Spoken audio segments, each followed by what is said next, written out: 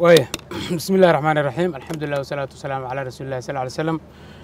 waa salaamantihiin dhammaan saxafiyiinta soomaaliyeed iyo dadweynaha soomaaliyeed ee na daawanaya amana dhegaysanaya waxaan halkan rabaa warbixin kooban inaan kula wadaago dadka soomaaliyeed. Sida aad la socotaan maalmihii ugu dambeeyey waxaa dadka soomaaliyeed ay aad ula socdeen warar dacaayad ah oo ka dhan ah ra'isul wasaaraha xukuumadda jamhuuriyadda federaalk ee soomaaliya mudane injineer maxamed xuseen rooble oo la faafiyey oo meelo kala duwan lagu faafiyey. Waxaan doonaynaa haddaba xukuumad ahaan inaan dadka soomaaliyeed u caddayno in wararkaasi ay yihiin been iyo dacaayad aan sal iyo raad toona lahayn oo la soo agaasimay oo la soo abaabulay oo ay ka soo shaqeeyeen kooxo abaabulan. Arrinta labaad ee rabno dadka soomaaliyeed inaan la wadaagno waxay tahay sababta loo soo agaasimay arrintaas ee loo soo abaabulay inay tahay qorshe diyaarsan oo la rabo in lagu magacdilo ra'iisul wasaaraha dadka soomaaliyeedna lagu niyajebiyo sababta keentay arrintaasna waa arrin la xiriirta dadaalka uu ra'iisul wasaaruhu ugu jiro inuu hagaajiyo oo dariiq saxa oo dadka soomaaliyeed u cuntama uu ku socodsiiyo hannaanka doorashada ee mas'uulka looga dhigay.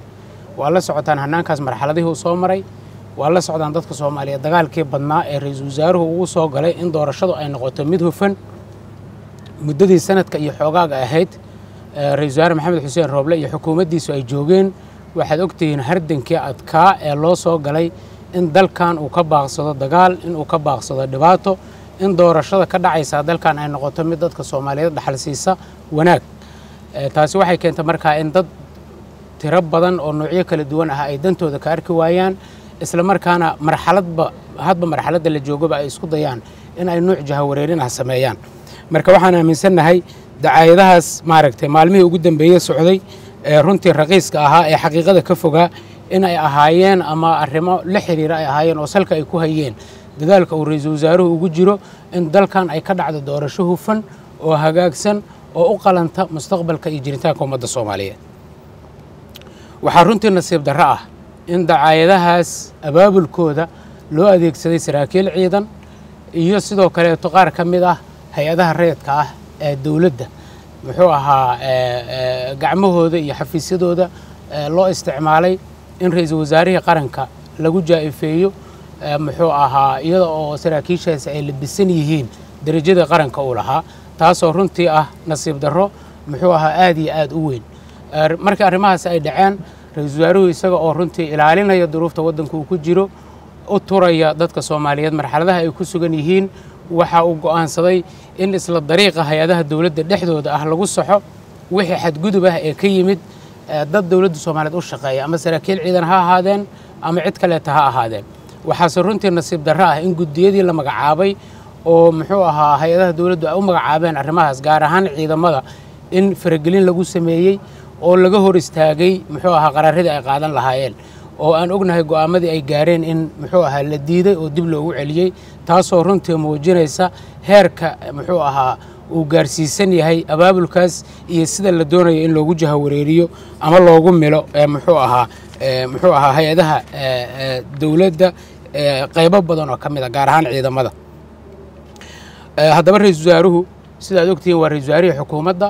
xukuumadda iyadaa mas'uuliyadday ka saaran tahay in ay daadihiso dalkan sida uu dastuurku qabo sidaas daraaddeed waxaa lagu wargelinayaa dhammaan hay'adaha kala duwan ee dowladda hadday ahaan lahaayeen ciidamada iyo hadday ahaan lahaayeen kuwa rayidka ah in ay ka fogaadaan ku milmidda arrimaha siyaasadda isla markaana ay qabsadaan waajibkooda oo ay dadka soomaaliyeed ugu adeegaan si waafaqsan waajibaadka uu dastuurku siiyey. Waxaa lala socodsiinayaa cid kasta oo caadaysata ku noqnoqoshada falalka ka baxsan sharciga oo isku dayda in ay dana khaas ah ugu adeegto xafiisyada ay joogto in ay la kulmi doonto tillaabo anshaxeed iyo mid ciqaabeed oo ka jawaabaysa muxuu ahaa falalka ay ku kaceen.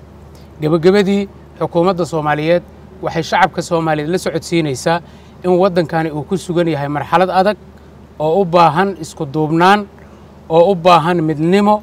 oo u baahan badbaado in qaranka laga badbaadiyo. Runtii waddanku wuxuu taagan yahay meel isgoysa oo u baahan geesinimo iyo dhiirasho looga gudbiyo dalka marxaladdan adag ma doonayso xukuumadda mana oggolaan karto in iyada oo joogta tillaabooyin dhaca oo la qaado oo laga hortegi karo ay keenaan berri in dadka soomaaliyeed ay isdilaan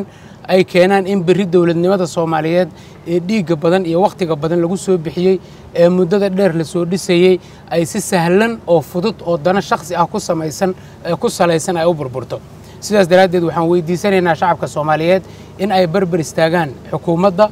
ku garab istaagaan in ay dalkan si cadaalad ah oo dowladnimada iyo ummadnimada iyo jiritaanka iyo midnimada iyo wadajirka iyo mustaqbalka wanaagsan u adeegaysa kana hufan danaha shakhsiga ah in ay u barbar istaagaan in xukuumaddu ay waajibkaas u gudato. Xalka keliya ee dalkan uu leeyahay waa doorasho ku dhisan wixii lagu heshiiyey oo aan muxuu ahaa ahayn mid hadba sida la doono loo qalloociyo wax xukuumaddu ay ka shaqaynaysana waa intaas. Haddii uuna dalkaani dhibaato doorasho aadin oo aan hay'adaha dalka hogaamiya si sharciga loogu kala wareegin waxay keenaysaa waxyeello iyo dhibaato aan laga soo waaqsan karin. Sidaas daraaddeed dadka soomaaliyed waxaan leenahay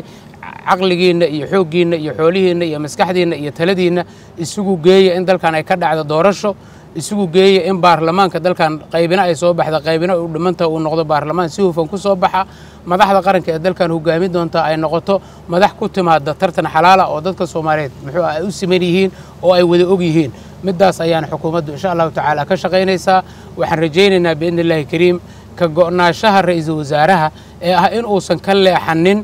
dariiqa in dalkan ay ka dhacdo doorasho dadka soomaaliyeed ay ogol yihiin oo ku salaysan wixii lagu heshiiyey in ay dalkan u horseedi doonto guul iyo xasilooni iyo barwaaqo in laga guulaysan doono kuwa ku howlan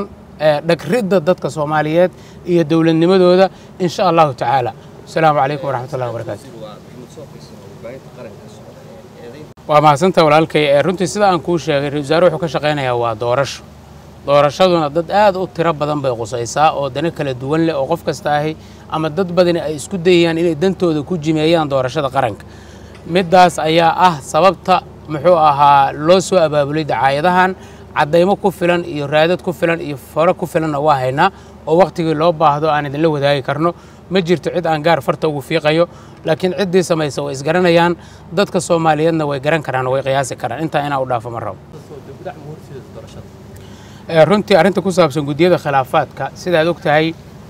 ay khilaafeen anshaxii iyo muxuu ahaa nidaamkii loo dejiyey guddigaasi inay ku shaqeeyaan oo ay ka baxeen xayndaabkii loo dhigay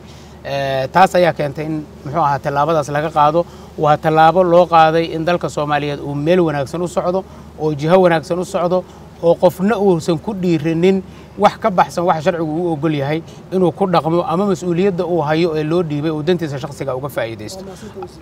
Si aad ugu adeegato premier wallet keliya taabo batanka bay ku aadi kaamirada q r-ka goobta aad wax ka iibsanayso geli lacagta iyo faahfaahin kooban. Taabo next. Kadibna confirm. Ugu dambayntiina geli mbiinkaaga si aad u dhammayso iibsashada. Premier wallet waa habka ugu casrisan ee aad ku adeegan karto maalin kasta